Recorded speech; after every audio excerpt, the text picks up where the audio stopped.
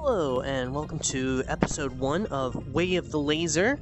Uh, I am your host, Vecheeso, and I'm here to teach you guys about how to have fun playing Space Pirate Trainer and get high scores like I've got. Who am I and why do I have authority? I'll show you right now. Number one, I'm number 44 on the scoreboard, all time mixed. Number two, I am number four worldwide right there. There's me on uh, shot work, so I know a little bit about what I got going on here in this game. I'm also 72 ion, railgun at number 20, ray gun at 30, pulse laser 67, and quark 21. So I know a little bit about how to play this game. I'm definitely not the best in the world, but I can definitely try to share some expertise with you guys.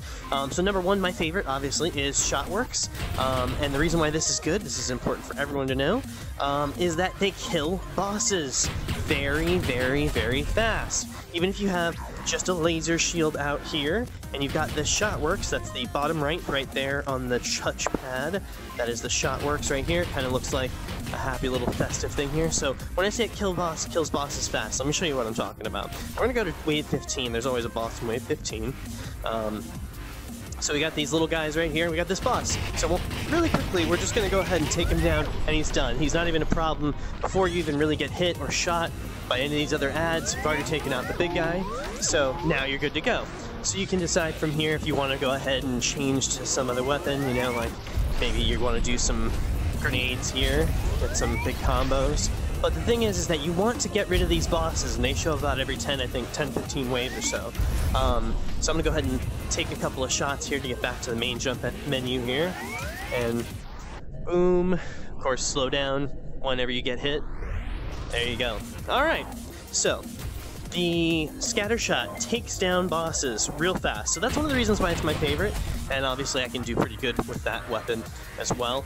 Um, so the other thing to, to realize is that um, other than the uh, quark cannon here, also known as the pistol shot, um, almost everything else takes time to travel to the target. So what I mean is that you're not going to instantly hit whatever it is you see, so you need to always be thinking ahead about what the robots you want to hit are about to do. Don't look at where they are, look at where they're going to be, also known as leading the shot. If you've ever actually shot anything in real life or even played any of the video games, you know you have to point ahead of the target that's moving. So, in this case, you always want to leave the target, so make sure that if you're you've got a weapon that has a time to travel, such as these grenades here. You need to be able to shoot all the way back there, and of course you can detonate the grenades at any time. So, let's go ahead and take a look at what that looks like in action here. We're to start a classic run here real fast. So, we're going to start at the top of the stack here with our pistol shot here, also known as the official name, the Quark Cannon. Uh, now, if you don't know this already, the very first wave, this guy will never, ever, ever shoot you. Um, and so you can always just kind of get in here and get fixed up. What I like to do is I like to take this very first wave, I like to make sure that my headset is adjusted. I always want to make sure that my IPD is set. That's the little thing in the bottom right over here of your map mask. Um, I always want to make sure that that's properly set because that gives you proper depth perception. Without the proper depth perception, you're not going to know if this guy is just a few feet in front of you here or if he's way out in the distance over there. So you need to have that IPD set at all times. Again, this first wave here, this guy's never going to shoot you. You don't have to worry about him bothering you at all. Get yourself some time, move around, get comfy, get your trigger fingers nice and warmed up as well. So here we go, I'm to show you what this means here. Again, we're on this Quark cannon at the top of the stack. One single shot, boom, it hits the target as soon as I pull the trigger. And pulling the trigger again. See, right as I pull the trigger, it hits right where I expect. Now, when we go to the pulse laser over here, this is going to take time to travel. See, I'm pulling the trigger, and it's actually, you can see, it takes time to travel out of my gun, just like the lasers that are incoming from the bad guys as well. So you're basically firing the same kind of bullet shot, similar enough anyway, to the bad guys here. So again, lead the shot. This guy's going down this way. We're to go ahead and lead the shot. See, my shot just down into the left where he'll be. This guy's going left. Oh, now he's going up. So let's go shoot. See, to the left of him here, and we got him. So this guy right here, he's going left again, so we're gonna do this. just gonna try to spray, spray where you know he's going. And it, obviously it's not easy if you're using a non-dominant hand, so let's go ahead and switch back over to this one here. All right. So we're gonna go ahead and shoot to the right of him. See, my gun was way over here. The shots took time to travel. So now we got the Shotworks gun here.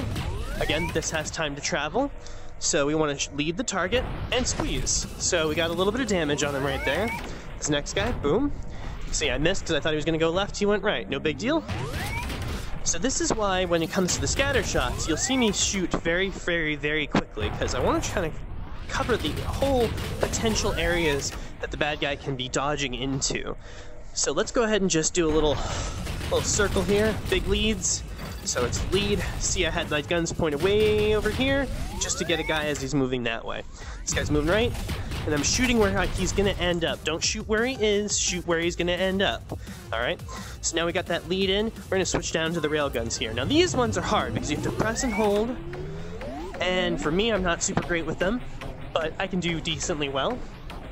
The important thing with this one is these take time to travel as well. All these guns take time to travel. When you're in slow-mo, they will be even slower. So let's show a real-time shot here.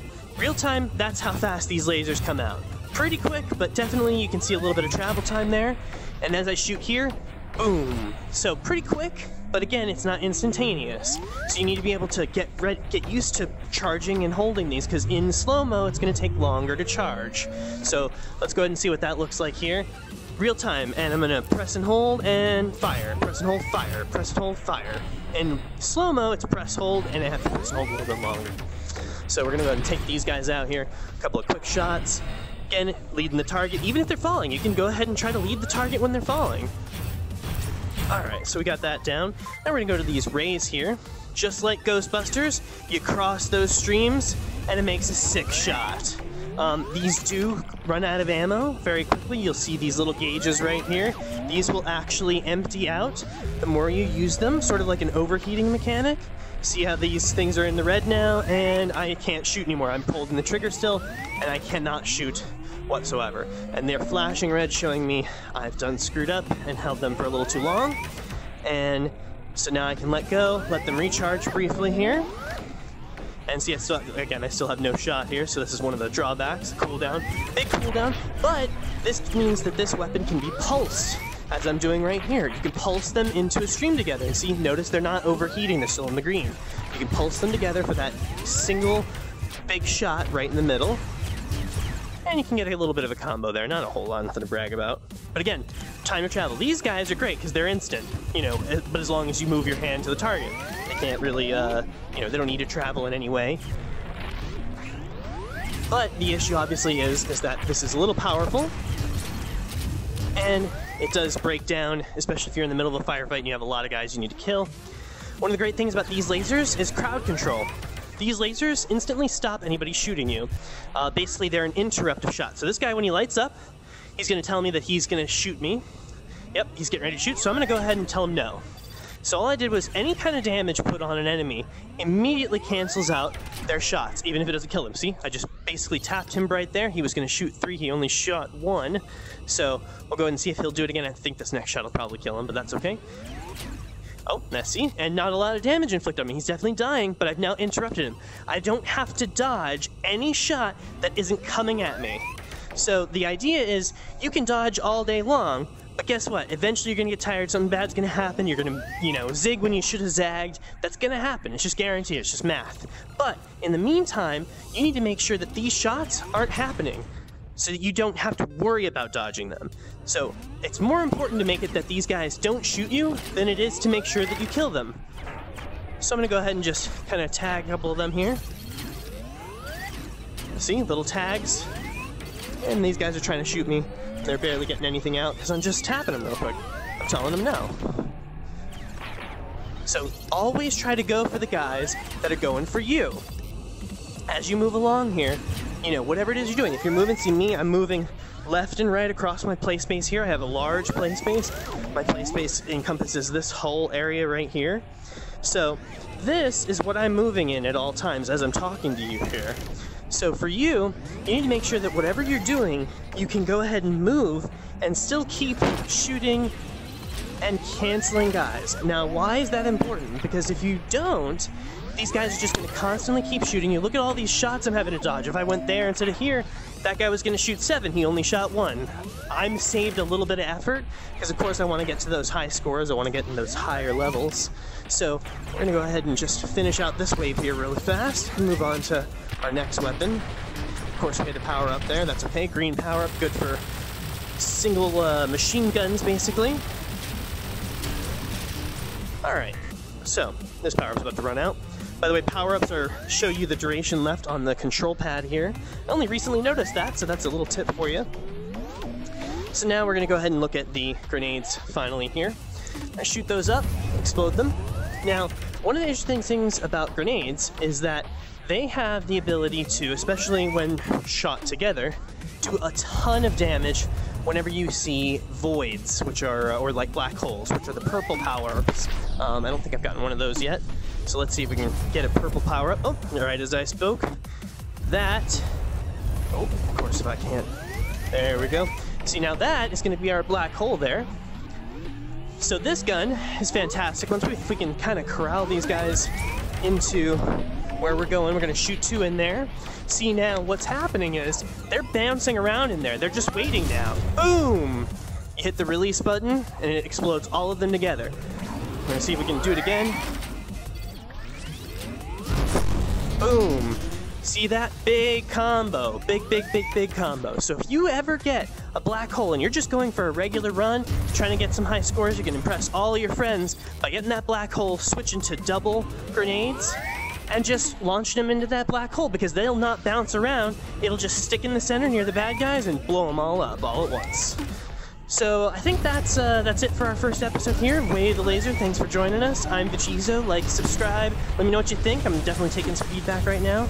And uh, thanks.